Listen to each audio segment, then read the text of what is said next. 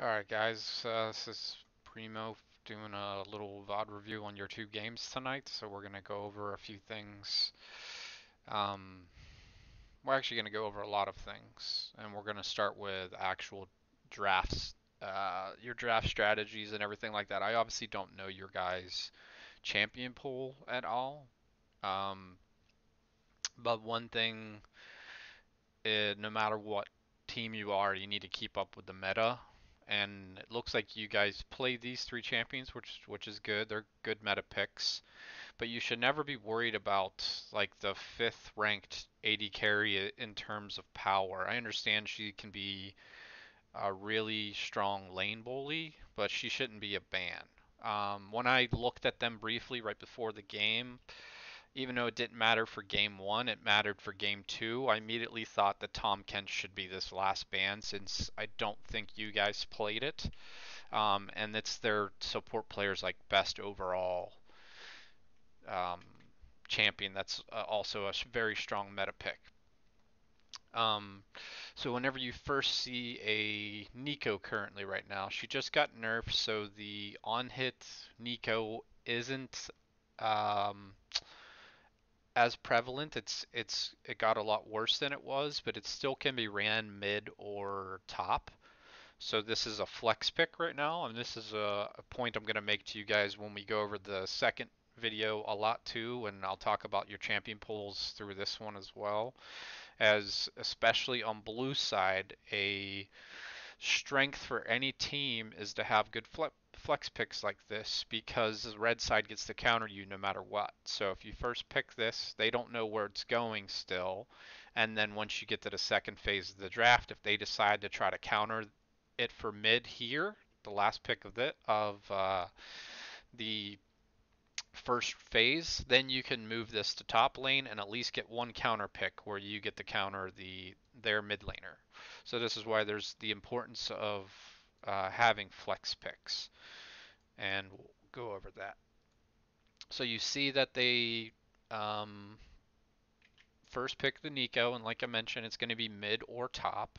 Is the the bottom lane Neeko is not really a thing now because of um, the on hit basically got nerfed far enough that the AP Neeko was better. So um, your response here is you go Alistar, which is perfectly fine. He's a very strong support.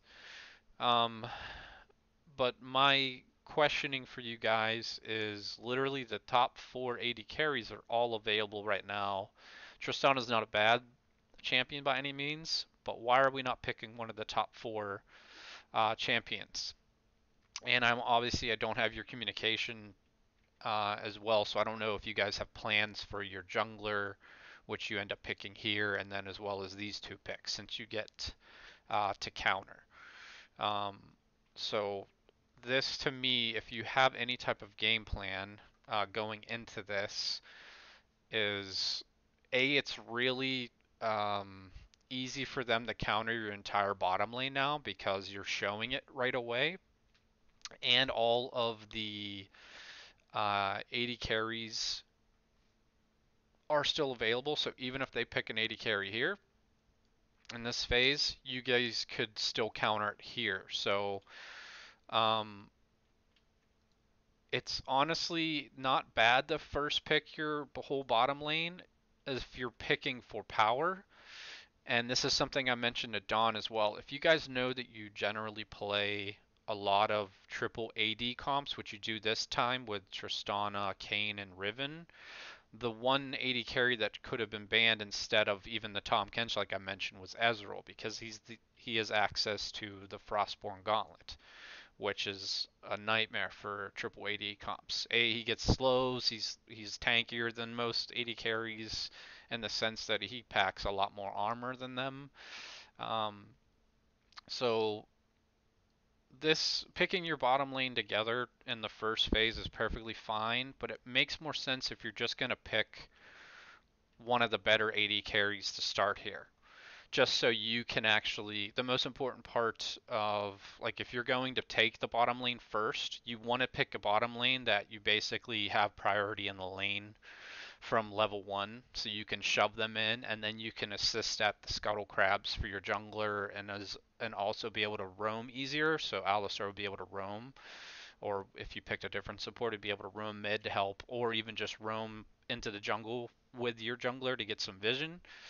Um, so um, this is something I would question you guys about um, just to find out more about your champion pools. But this is honestly, if there's four different AD carries that are globally considered stronger that that are still available, is my point. Um, this should not be a pick here. If you want to pick this, you could still probably pick it here to see if this is different, and then you just take your like strongest jungler basically right here. Whatever you think your most impactful jungler is right away, you could do that instead. But like I said, it's not bad to pick your bottom lane right away as long as you pick one that's basically you can take over the lane and, and basically get priority from the beginning.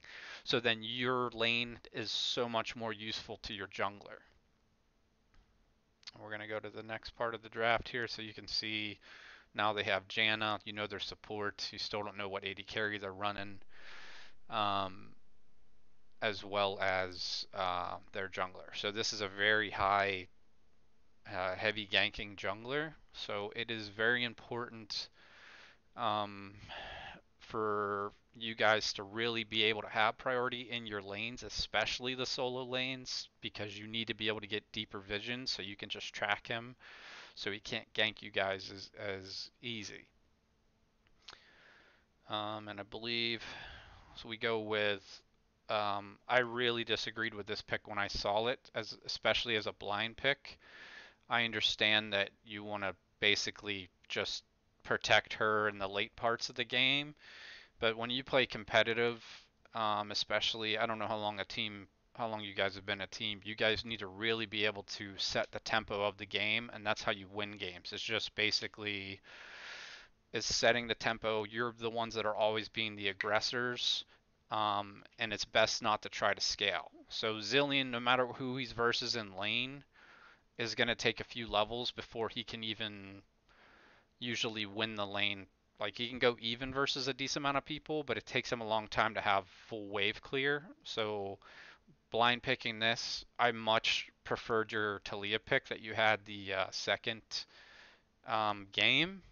A, she could really disengage him with uh, her E as well as get the slowdown because her E will be able to knock him up very easily and then you can push back in the lane um, a lot faster so you can roam at the same time as their mid. So if, if the matchup is Neeko versus Zilean, which is what you're picking into, then she has she has priority in the lane, so then she can make an impact and help set the tempo of the game a lot quicker than you can, a lot earlier in the game is what I'm referring to.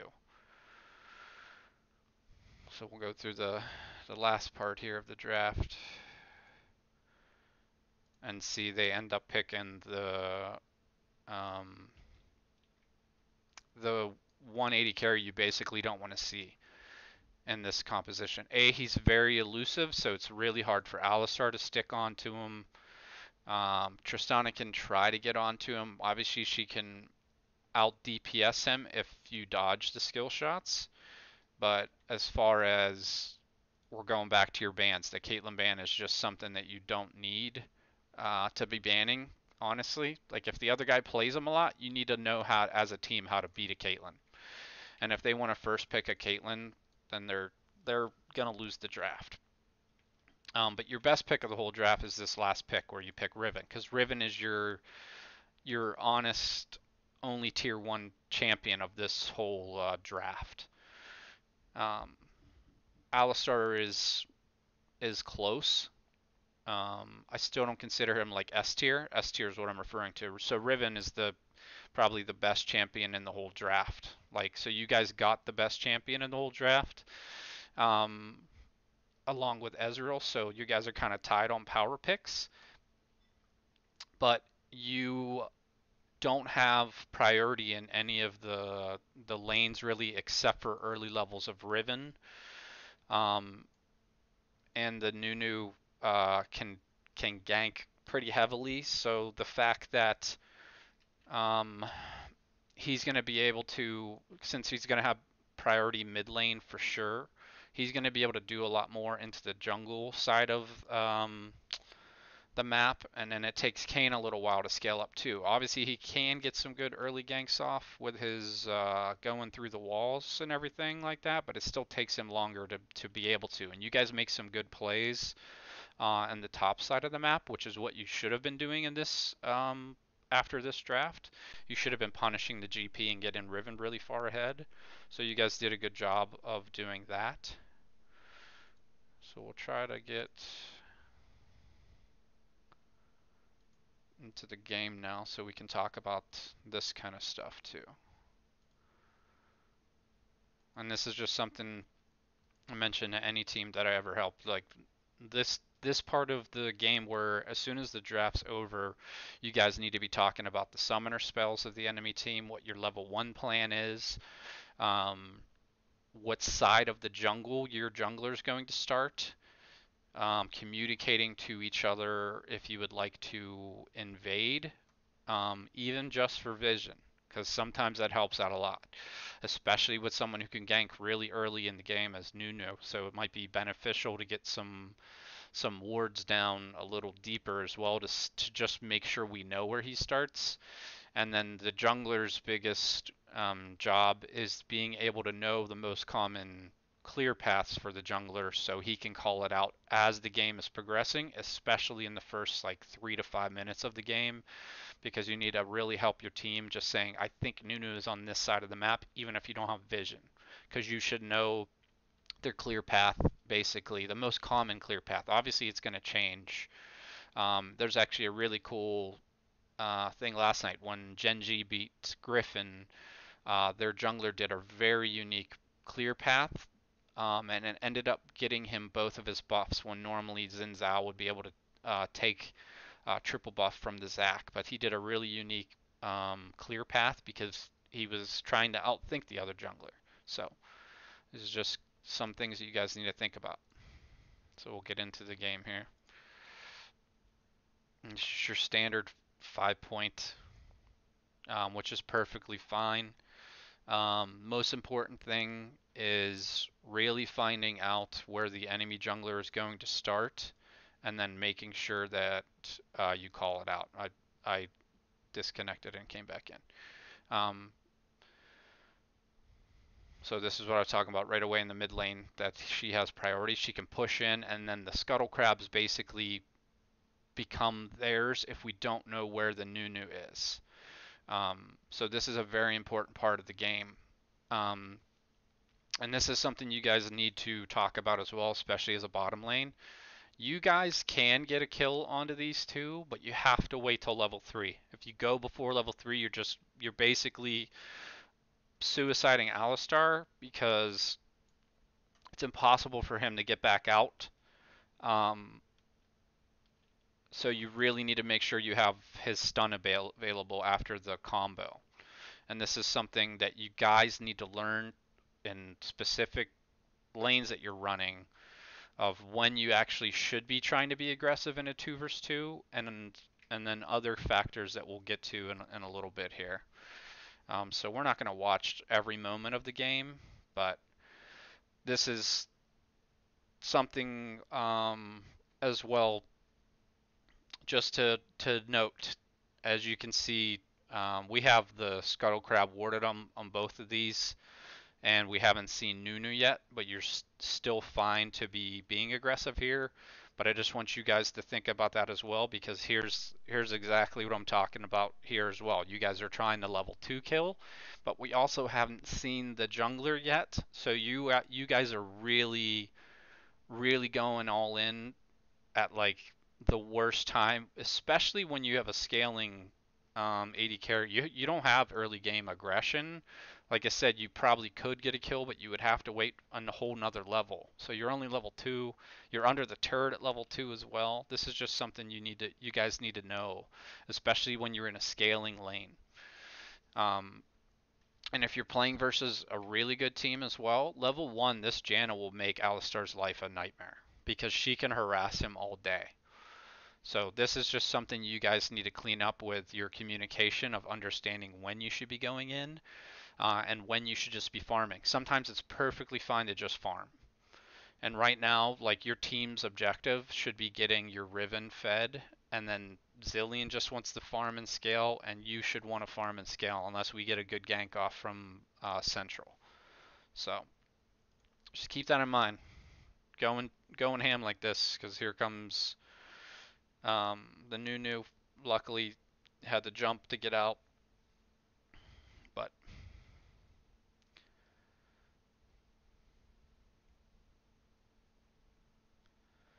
just kind of fast forward a little bit.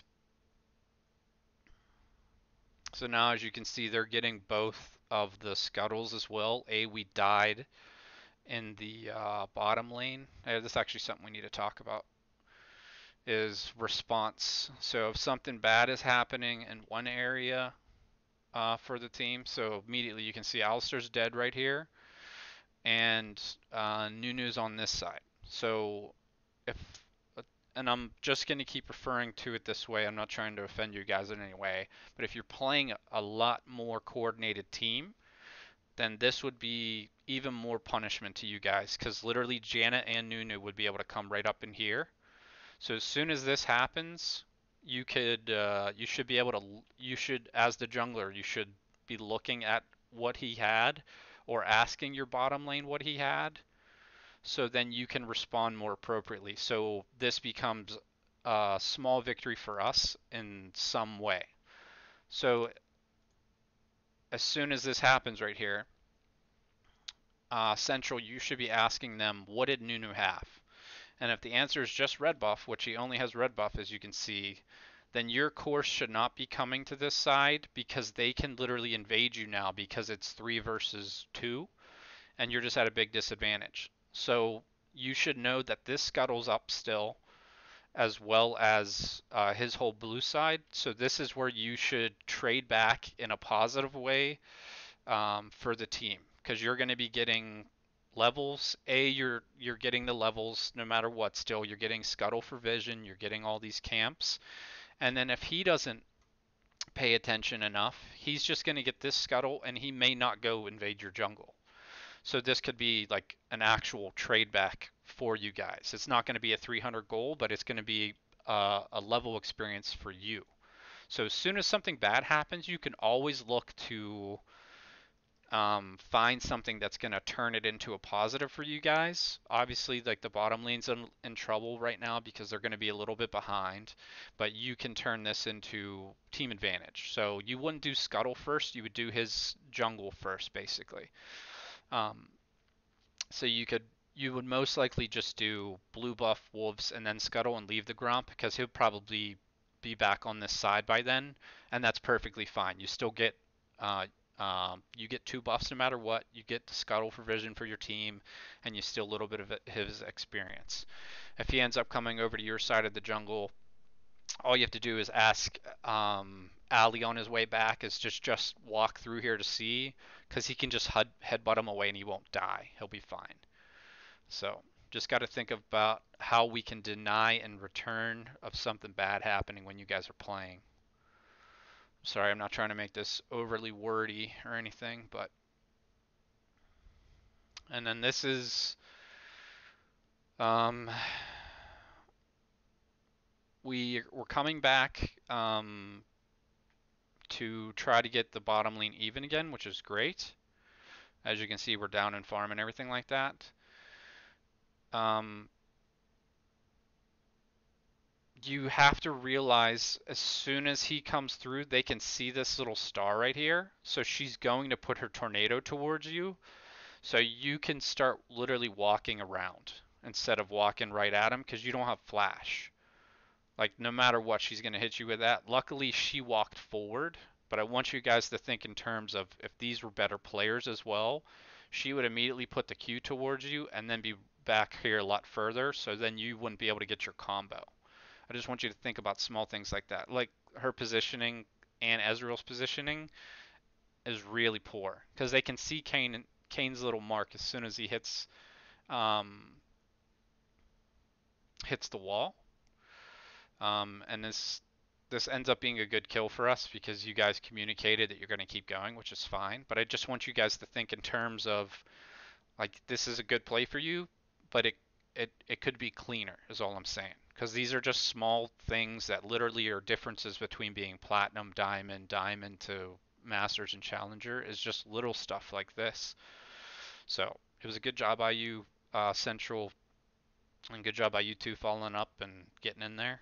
Just make sure uh, you're thinking about that Mystic whenever you're uh, trying to set up the gank too. Try to go through. Oh yeah, we can actually go back, I think. So this is something as well. As soon as this, like we were just talking about um, for the jungler for central, whenever we get um, a negative happens, we can still turn a positive into something. So whenever this happens, we have absolute control over the bottom side of the jungle now. We should um, and um, Dawn is still going back and forth even. As you can see, Neeko's really low in mana, and he's half health with decent mana. So this should now turn into vision control from you two. Right here. You guys should um, basically um, Central, you can help him shove this next wave, and then you guys just go get vision in the jungle really fast. It doesn't even have to be deep. Um, but this is just going to help your team. Literally, you can get a Tribush ward, and then we can also um, probably get a ward deeper up into this this section as a group. Because no matter what now, um, you'll find out where Nunu is by putting this vision in here, and it helps the the bottom lane stay safe for longer. And the best places for wards actually um, for Nunu specifically, he can lane gank so it's actually best to get uh, a ward basically in the lane between the turrets as well as um, this bottom uh, brush here where a lot of people pink ward towards the end of the game. And then um, hopefully later in the lane, if there's a good back timing, we can get vision on this side as well. So this is just remember every time there's a little there's something that bad happens, you can look how you can deny them or gain a small advantage or if you get an advantage like this, you guys should be shoving, helping shoving this wave when it gets up here. So um, uh, uh, back timing can be on points um, where he can just basically come back to lane and the wave should be matching in the middle because Ezreal won't be able to stay in the lane versus all three of you. He'll have to back up at least until you clear it. And then we get vision control. Vision control, especially deep vision, whenever we have opportunities, is how you win games by just being able to track the enemy jungler, because then we know when we can be aggressive, when we need to counter gank or counter roam, things of that nature. So just think of that stuff whenever you guys get advantages, or like I talked about earlier, of, of if something bad happens, you can still deny them. Okay, and then this is a common thing too. Um, for teams is he's out of mana and he's basically the wave is just shoving back into him nonstop. He needs help getting out of this lane so he can go by. He has TP. So at some point, Dawn, you have to call for Central, excuse me, Central to come help you because you need to get back to base and buy something so you can at least replenish your mana and stay stay safe because you you have no way of defending yourself at all. And if he's nowhere near that he can help you, you honestly just need to surrender this this this wave and go back. I know it sucks because it's a cannon minion wave, but this is where bad things happen because you have no way of defending yourself. And this is just something you need to realize, or you need to call for help earlier so this stuff doesn't happen. And then also Central would be able to help you out. But luckily, we're getting um, Oh, this is this is great timing actually. So this is something that needs to be communicated before you gank right here because he's already level 6. All the communication needs to be because you know you're on a pink ward is how long until you're level 6. And then you don't gank literally until she hits level 6 and you'll be he'll be further up the lane and everything and this is a 100% easy kill.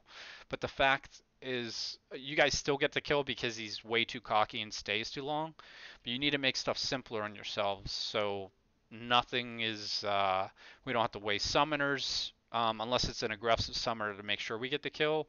But look, he can just fend off so much easier because he's already level 6. And look at this giant wave you're fighting in too. Like this is just simple communication. You guys did a really good job with your vision control. You have two pinks over here. This is amazing. This is shit that like I've coached teams that are like diamond 3 plus that they don't they don't have this good of vision control early in the game. But this is where your just communication is. How long until you hit six? Because he can, you can look in lane central and see all these minions, and know that he's going to get it very soon. So just clean up that communication, and you guys would literally, you'll get this kill anyway, like I mentioned, because he's he's cocky. Um, but yeah, if you just did that, it would have been a lot simpler for you guys. Like there's no reason for him to still be staying. He should be going back at that point because the wave shoving too. Like this is just him being really dumb. But just think of how much easier it could have been on YouTube as well if we would have just cleaned up our communication about everything. All right. Just going to look for kind of key points to talk about. I didn't write anything down as it was going, but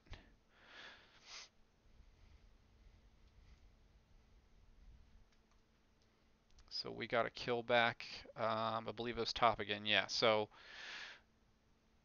you guys punish the. Uh, you did a good job. This is what I was talking about earlier. You knew that he didn't have flash, and um, if I say your name wrong, I'm sorry. Aeoliosis, something like that. I'm just gonna call you Aeoli.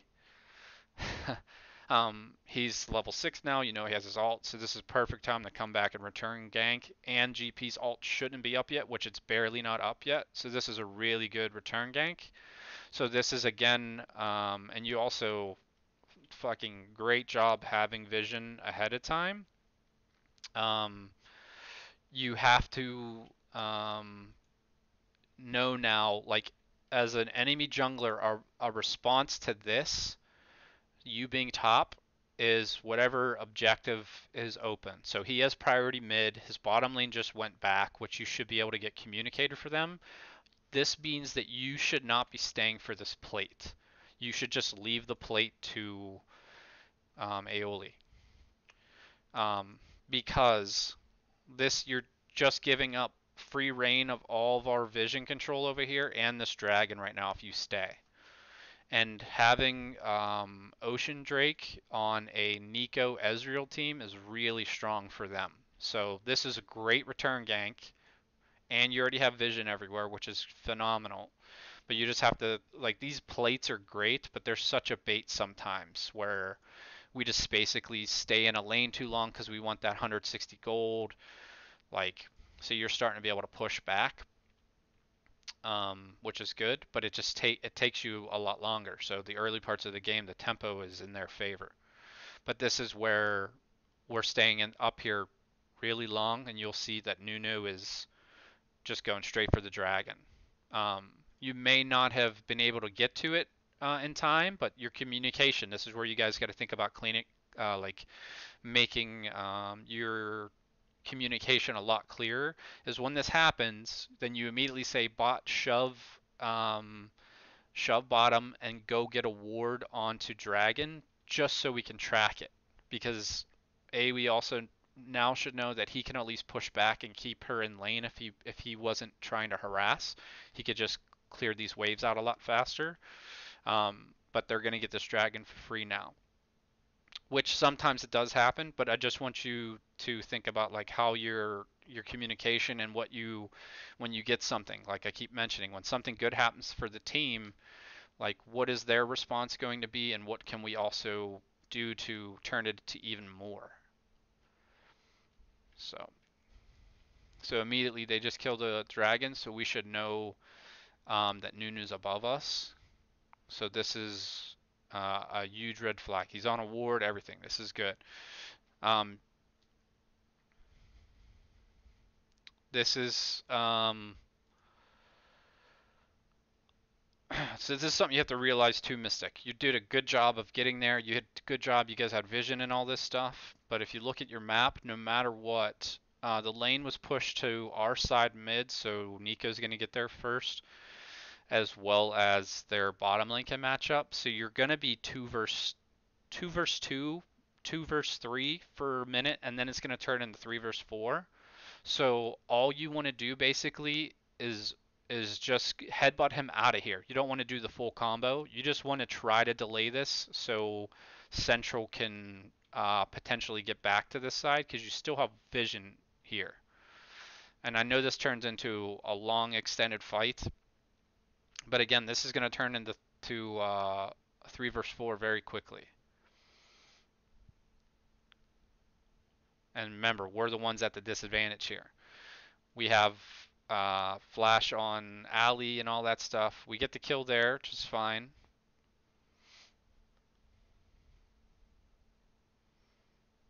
We're going to lose the Ali back in return, just still fine. But just basically forcing into uh, a 3 verse 4 there isn't the greatest thing in the world. I mean, all you all your objective at that point is to basically stop him from uh, stop him from getting the blue, which all you have to do is do the headbutt because we got a kill, but now AD carry doesn't have flash, which is a big deal.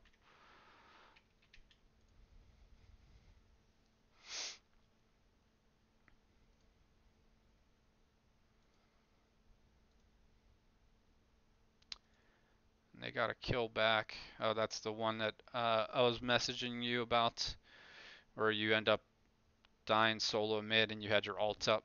This is ju you just have to ult yourself just to be safe. It doesn't matter. A, this is the same thing as before too. Like you had no mana, you should just be going back. Plain and simple. Your E gets you back to lane fast enough that you shouldn't be risking this. You also should be knowing the cooldown of her ignite. Um, so this is this is you overstaying in lane because it's a cannon again. It's it sucks, but you already picked into uh, a matchup that's really tough. Um, and you're just trying to basically your champion is trying to synergize to really let Tristana go ape shit later. So this is just overstaying. You need to make sure that you don't, and then just ult yourself just to be safe. You don't even have to flash there if you ult yourself.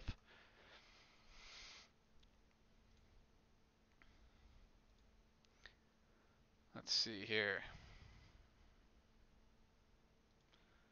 Oh, and this is something that um, really need to take notice of as well is this. So Tristana is really strong with two kills, but the CS difference, and I'm counting the spoils of war still, is really big still. So that's what 70, 82 versus 104, down 22 CS. Then we're down 20, 19 CS here. We're down 16 CS here. And the lane that we put time into, which was good, it should have been our game plan, was get Riven really strong, is up 10 CS and two kills. So this is just something that should be a habit of you guys to keep track of because our CS numbers should not consistently be basically losing in four of four of or I'm sorry, three of the roles because we can't count support as a, a, a farming measurement.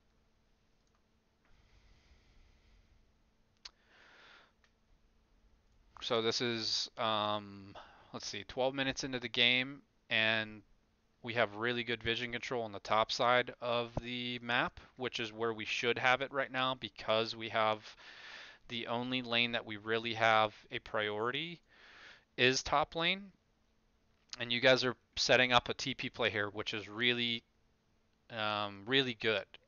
But um, and you have central going up here to cover. But what your communication should immediately be when you TP is literally Janna no flash, and she just used her Q and her ult. So Riven should just be going straight on her, plain and simple. Because we don't want this, we don't want this um, TP to be wasted. And Ezreal still has, we should know he still has his flash. And I don't remember if he still has his E or not. We'll find out right now. But this is a really good job you guys setting this up, the TP play and Central being able to cover the the top lane. So Easy still has he literally still has his E and his flash.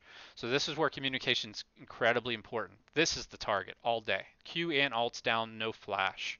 This will be a one for zero um, uh, TP play, but instead we're our communications off, so he literally just gets away, and then her Q comes back up, and they just disengage. So we lost our TP play there. It was a good setup. Just communication needs to be quicker. Jan is the target. No flash. Like always be talking about their summoners ahead of time when you're setting up these plays because you don't want to it was a good play, but now look at the farm that we just talked about. Because we got nothing out of that, it's a it's an even um, it's an even lane and farm now, which is a is a big deal because GP scales really hard. So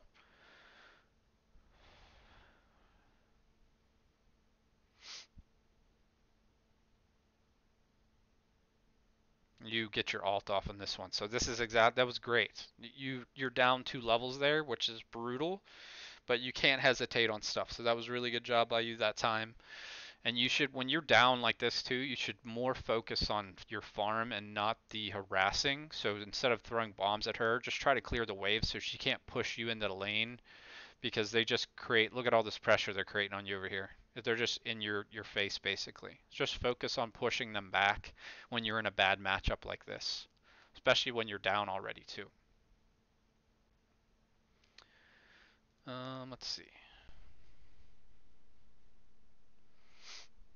So this is the the next dragons coming up, which is which is why that TP play failing was so much more important now. A, it was a good play.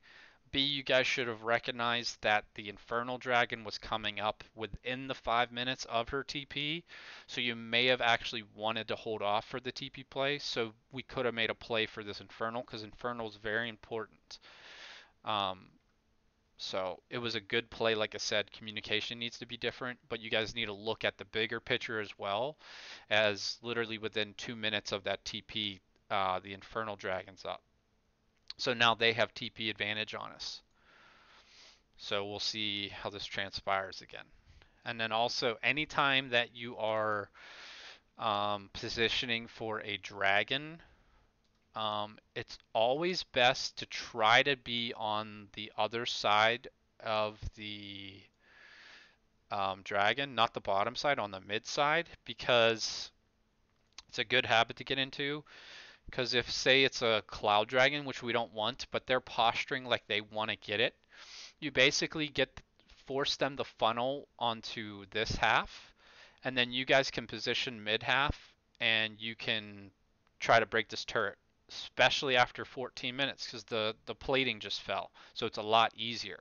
It's just an, a simple trick, basically, when the dragon's up around this time, um, to get that mid outer outer turret is just by your positioning at the dragon. So, but just a good habit for most dragon fights, you want to position on the mid side if you can. If you're the team that's in the driver's seat and you want, uh, and it's an important dragon like Infernal, then obviously you're going to be basically in the pit side. That's fine. Just make sure that your wave management, which is something that we will uh, talk about a lot, um, your wave management needs to be taken care of where this we're not losing experience at the turret because this is huge. Just losing a wave of experience is bad for us. So then this is where this is where it's um, really beneficial if we still had the TP so we can force stuff here around the infernal. So we're just gonna let it roll I believe we get this kill, but we're so like disjointed, and they also were grouped better. If you look at the beginning of the fight, Ali and Zilean weren't really grouped with you guys uh, completely. It was Trist and Kayn.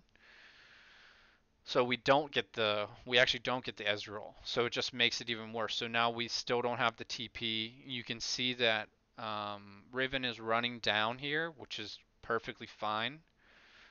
Um, because she took care of the lane priority. She shoved it on him already, which is perfect. It's what you want to do. But now we're just in a terrible situation. Everything about this is just really bad for us. So this is why talking about uh, what we're going to do ahead of time, um, especially playing around bigger objectives, is so important. So that TP play, just going back to it, was a really good play, but it should have probably been saved because how how um, important this this uh, global objective was to the whole team. So just think of that stuff. If a dragon's coming up that you guys don't really give a shit about, then go ahead and try to make those kind of plays. But you can see now like the score seven to five, but they almost have a, a 4K gold lead just because of all the farm difference too. So this is where it's really starting to pile up on you guys because they had priority mid lane, um, bottom lane was probably just going to be even the whole time. You could have maybe got a kill level three, but I still I still doubt that it would have happened. Um, just because of the lane that you're playing versus is pretty elusive and she has good disengage tools plus shield. So just all this stuff stockpiling is how games get out of hand. So you guys really need to think about that stuff when the game's loading in too, like what your win condition is, what their win condition is, all that stuff. So you're going in um, really far ahead of um, Tristana here. I, don't remember if we get the kill or not. I don't think so. But regardless, like they could have they could have let you. Uh, oh, he just TP back the lane. He could have TP down here and fought you guys as well. But now we're gonna trade basically uh, two for one, which is never a good thing. We never want to do that. I know Tristana got all the the uh, actually Ali got one of the kills. Yeah, so it's it's not beneficial to just force like that. That's like that's solo queue mentality. Just force, force, force. You just you got to make smarter decisions when you're doing stuff. If you would have done that when Tristana was closer to you, then it would have been perfectly fine. But you started off way too early uh, com in comparison to where she was. So, and this is where um, See, this is what I was talking about earlier too. You know that they are back. You got a little bit deeper vision. This is great. This is the kind of shit that you guys need to do more often because you'll see that as the game goes on, our, our vision is starting to, to fizzle away, basically. You do a really good job with the vision in the early parts. Okay. So this is a good 3 verse 2 because we get to... Uh, um, our mid laner gets there first, which is perfect. We get two flashes out of it. So now this is where we could be talking about um, ways that we could potentially take advantage of them not having flash. And basically, the easiest thing you guys could do if you felt like you're strong enough, which I I don't really think you're stronger than them overall. It's kind of close. Neeko's really strong though.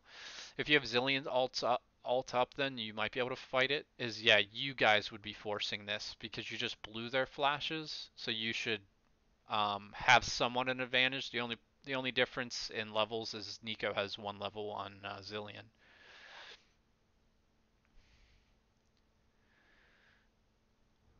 But I know I understand it's a Nunu as well, and he's very good at controlling objectives, and that's perfectly fine. Um, but it's just like as soon as something good happens like that, you guys should be thinking, what can we do right now, or what can we do in the next two minutes, kind of thing, uh, around whatever um, just happened. So even if you don't, if you give up the Herald like you just did, you should realize as well. Um, like stuff about the vision. I don't remember if you get the kill top or not. I think you do. So this is exactly what I'm talking about. About um, yeah, you do, and he gets out. So that's good. Punishing him, he just uses flash, so that's good. That's the kind of stuff you guys should be thinking about all the time.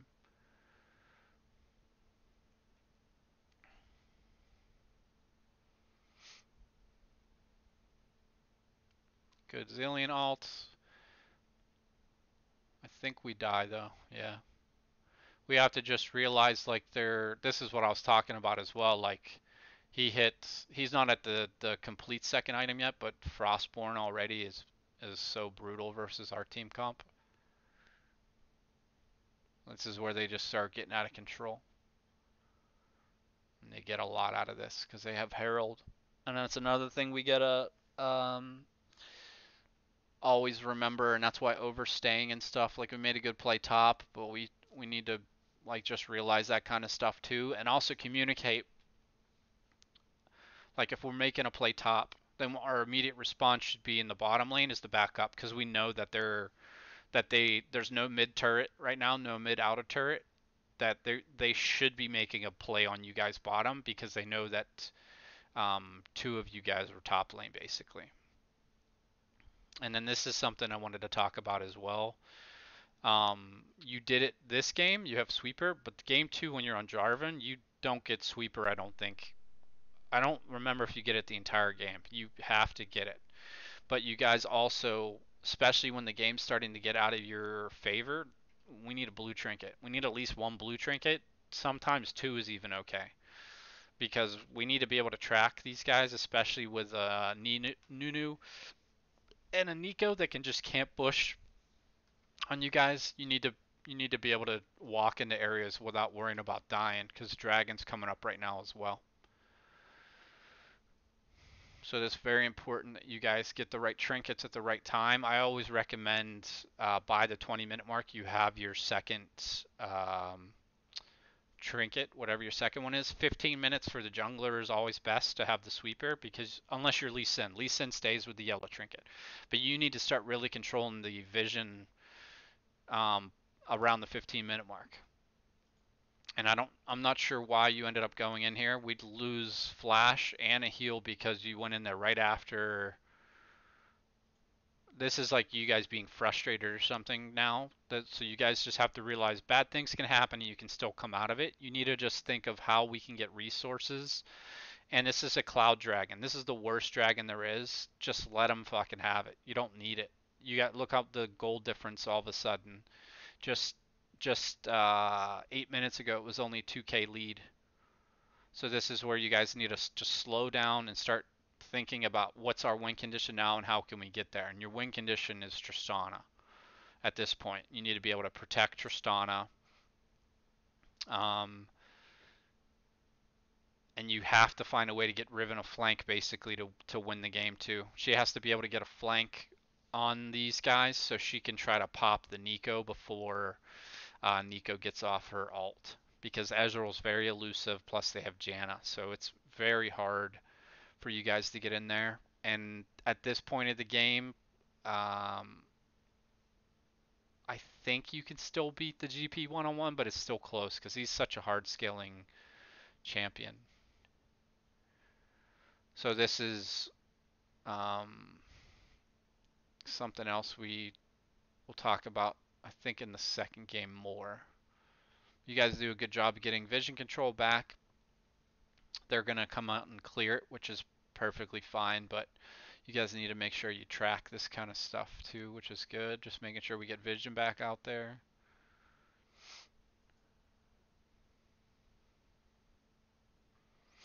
And we know Riven has TP, so uh, Tristana should be going back up to top by now. Should be should be recalling and going back up there because Riven has TP. We need Tristana on the Baron side, so she's going back now, which is good.